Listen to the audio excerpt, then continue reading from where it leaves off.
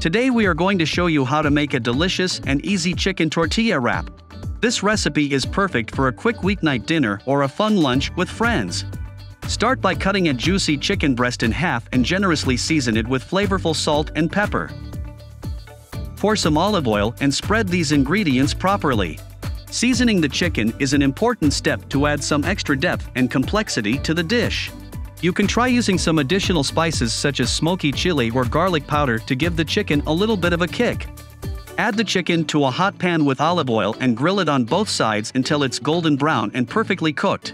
If you want to take your cooking to the next level, be sure to join our Home Head Chef Premium Club for exclusive access and connect with fellow foodies.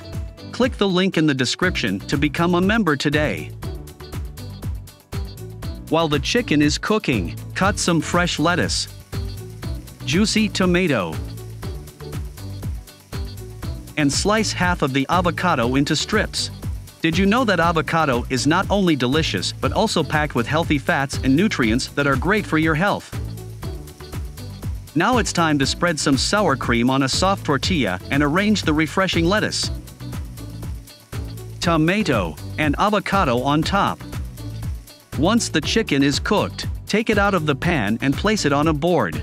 Cut it into strips and add it to the tortilla with the colorful vegetables.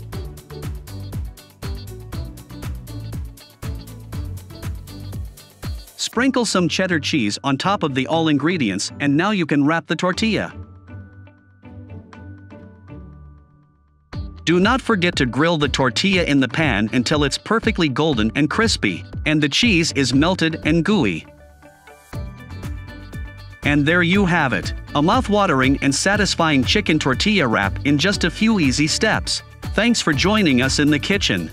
Don't forget to leave a comment and let us know how your chicken tortilla wrap turned out, and make sure to subscribe to our channel for more amazing recipes.